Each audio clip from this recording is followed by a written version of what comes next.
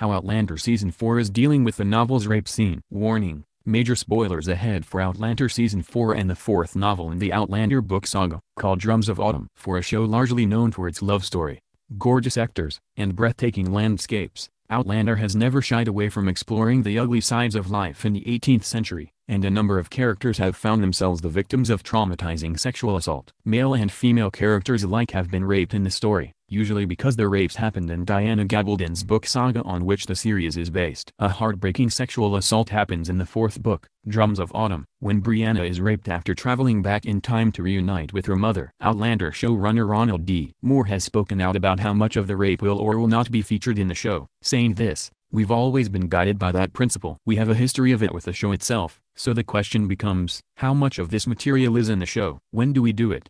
When do we decide not to do it and why are we making that choice? You have to approach it on a case-by-case -case basis and this is obviously a big story point so it wasn't really an option not to do it. It's more a question of how you're going to do it and what it meant to that story and how you presented it. Outlander has never followed the events of the books exactly as they're written and the show actually changed a rape scene from the third book to be entirely consensual because the rape was not deemed necessary for the story they were trying to tell. Other horrifying rape scenes were included, and they were awful enough that viewers would have been justifiable in averting their eyes, but they were relevant to the narrative. Certain pivotal plot points couldn't happen without the sexual assaults, and so Outlander adapted them. As Ronald D. Moore explained in his chat with THR, the rape of Brianna is one such assault. And Drums of Autumn, Brianna travels back in time to reunite with Claire and meet Jamie. Very unfortunately, she crosses paths with new season 4 villain Stephen Bonnet, who has already been established as worse than Black Jack Randall, who rapes her. The assault doesn't happen as just another excuse to establish how psychopathic Bonnet is. Bri ends up pregnant with a child, although it's not clear in the book if Bonnet is the father. The pregnancy makes for a significant storyline for Brianna,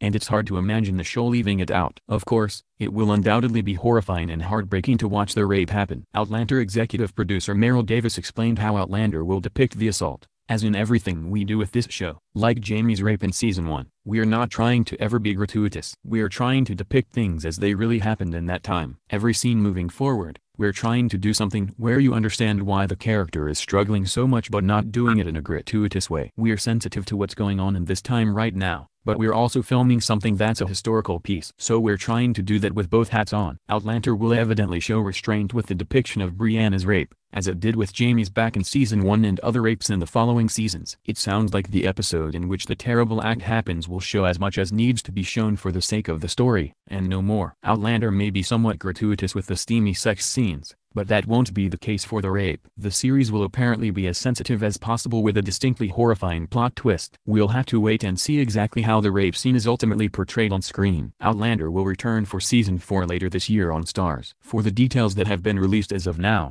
be sure to swing by our breakdown of what we know so far about Outlander Season 4. For viewing options while we wait for more Outlander, take a look at our mid-season TV premiere guide and our 2018 Netflix premiere schedule.